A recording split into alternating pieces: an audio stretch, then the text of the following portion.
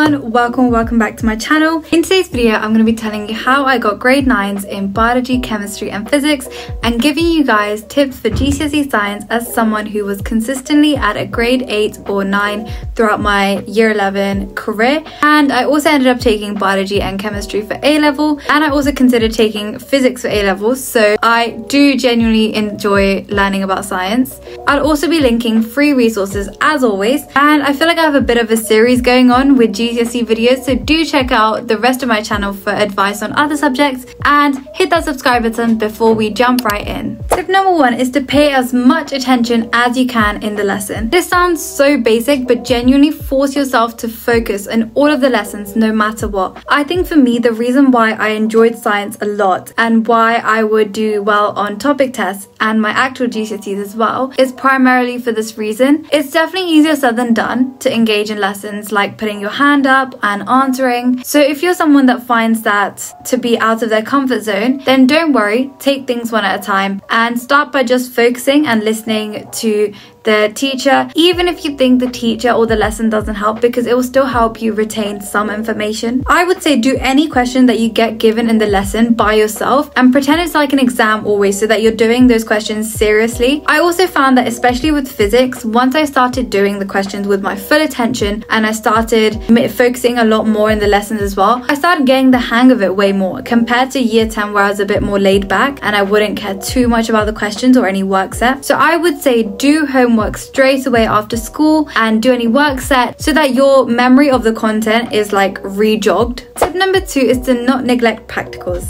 It is so, so, so easy to miss the required practicals and think that it doesn't really matter too much. But did you know that 15% of the paper's total marks would be on required practical stuff? And with GCSE exam boards every year, they always like to throw in a question where you have to describe the method or the variables. So I would say make a list of all the required practicals and then I would watch the videos for each of them to try and remember what they were like and to learn about them if I couldn't do them in school. For example, if I was like absent in school when we did them. Anyways, I would say for each required practical, memorize the method and the independent, dependent, and control variables. Now, quick science lesson, independent variable is the variable that you're changing per turn of the experiment. So when you're repeating whatever you're changing, that's the independent variable. And it's always the x-axis of the graph, if there is a graph. The dependent variable is what you're measuring, and that's the y-axis of the graph. And control variables are variables that stay the same throughout the experiment and things that are just controlled throughout so that they don't affect the results. I would also have an idea of what the results should be and why they come up like this because knowing the science behind the practicals helps you so much with content as well. You should also know what common errors like a student can make when they're conducting this experiment and what the role of certain equipment is. So for example, for a chemistry practical on exothermic reactions, I remember that you used a polystyrene cup with a thermometer to see if the temperature increased or not. However, with this experiment, you would use a lid to keep the heat in. So the purpose of the lid, as silly as it sounds, could easily be a question that comes up. Tip number three is to do questions after questions after questions. As with any subject, but especially science, do as many practice questions as you can. This is literally the main reason that I think I got grade nines because doing questions is so incredibly helpful and you won't realize how many times exam boards would just get lazy and just put in the same question again that they put in a paper years ago. Plus, the more questions you do, even if you get them wrong, you can learn from the mark scheme scheme and understand the content better. You may also ask, Anya, where do you get your questions from? Honestly, my main port of call was PMT or Physics and Maths Tutor. The questions by topic on PMT are amazing and so are their flashcards. I love their website so much and also if you're looking for more questions and if you ran out of PMT questions, I would also recommend getting the grade 8 to 9 CGP question book. I think the questions definitely pushed me out of my comfort zone, but that's good because if anything like that came up in my actual exam, I'd be prepared and well equipped to answer. Quick little tip number four is to use CGP flashcards. This was another resource I really liked and I would highly recommend getting. I think it's a lot of effort to make your own flashcards, so having this was super handy and I would take them around if I went on a trip or if I was just in the car for a long time. Plus the little jokes throughout the whole flashcard set kept me going and I think that they were so convenient to just take around and just to revise anywhere. Tip number five is to use the specification like it is the manuscript of your life. Genuinely, the specification exists for a reason and is literally everything the exam board can test you on. Using the specification as a checklist as you go along and revising through based on that is the best thing that you could do to revise because it ensures that you're covering everything that could come up. Obviously, with science, a lot of it is applying knowledge, so questions might seem unfamiliar even if you know it, but once you've understood the foundations and the basic concept, you'll be able to apply knowledge in the snap of your fingers. Tip number six is the YouTube channels that I would recommend watching.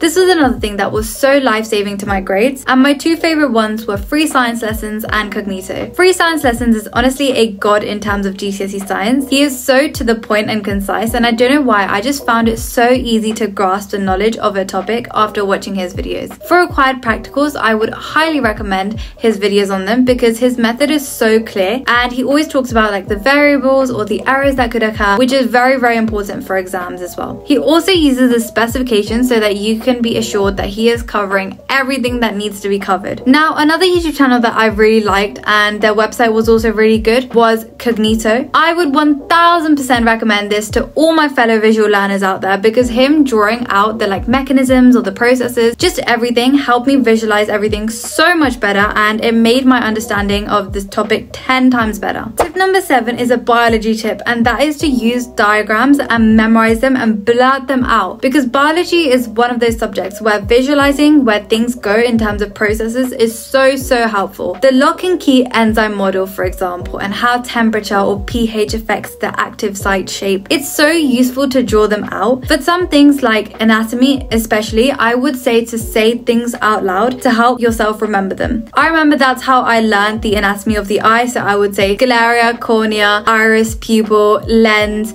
ciliary muscle, suspensory ligaments, retina, optic nerve. And fun fact, the anatomy of the eye was actually removed from my GCSEs, but I can still remember blurting this out and I can still remember it to this day for some reason. Tip number eight is to memorize the formulas for chemistry. I feel like for sciences, the physics formulas are always talked about, but no one ever appreciates the importance of the chemistry formulas. These can be so high yielding in terms of marks and easily there could be a six mark calculation that comes up and it's crucial to know them well so that you can do these calculations with ease and get those six marks easily, which you can do by practicing lots and lots of questions as mentioned in one of the previous tips. Also for chemistry, practice drawing structures out, especially because a lot of the time for organic chemistry, it's so important to know where the carbon goes or where the hydrogen goes or where all the elements are on the actual structure of the molecule. So the more you practice by just drawing things out like equipment or structures of the molecules just on a whiteboard over and over again, the more it will be drilled into your memory. Tip number nine is about physics and that is to know how the units work, even if you have the formula sheet. The units is a massive, massive area that students always slip up on and they're such easy marks to grab if you practice enough. Learn the units and also learn how to use a formula sheet in other ways. So for example, if you get asked about like the definition of speed, you can easily use the formula sheet and look at the equation for speed and say that the definition of speed is the distance traveled over a certain period of time. Therefore, if there's any definitions of quantities that come up, use the formula sheet to do so. Speaking of physics and science in general, tip number 10 is to use brilliant.org, which is a great website to practice your science skills on, and it is also the sponsor of today's video. Brilliant is where you learn by doing, with thousands of interactive lessons in maths, data analysis, programming, and AI. Brilliant is one of the most effective ways to learn, and it's a learning platform designed to be uniquely effective. You can play around with concepts, and there's loads of lessons filled with hands-on problem solving work. It's a method that's proven to be six times more effective than watching lecture videos, and all content on Brilliant is crafted by an award-winning team of teachers, researchers, and professionals from lots of different backgrounds such as MIT, Caltech, Duke, Microsoft, Google, and more. Apart from science, there's so many different areas of subjects that you can dive deeper into. For example, maths, programming, data, and AI courses, which can help you build real skills and develop your intuition. You can build and use formulas to solve real problems in businesses and everyday life, and you can peek under the hood of large language models like ChatGPT to understand the concept powering today's technology. Applying data skills to real world scenarios like running simulations to predict the winner of the World Cup is another thing that you can do on Brilliant. To try everything that Brilliant has to offer for free for a full 30 days, visit brilliant.org slash study lifestyles or scan the QR code on screen now, or you can click the link in the description and you'll also get 20% off an annual premium subscription. Bonus tip before I end the video, tip number 11 technically, is to read the examiner's reports after doing a past paper in timed conditions to see common mistakes that people have made when they did the past paper in the actual year that it was released. Examiner's reports are important for all subjects, but for science especially, there's so many mistakes that are repeated year on year by so many students. So to avoid also falling in the trap, read the report to better prepare yourself for your exam. Okay, that's all for today. Thank you all so much for watching and I wish you all the best for your GCSE exams. Be sure to subscribe if this video helped and I will see you all later. Bye!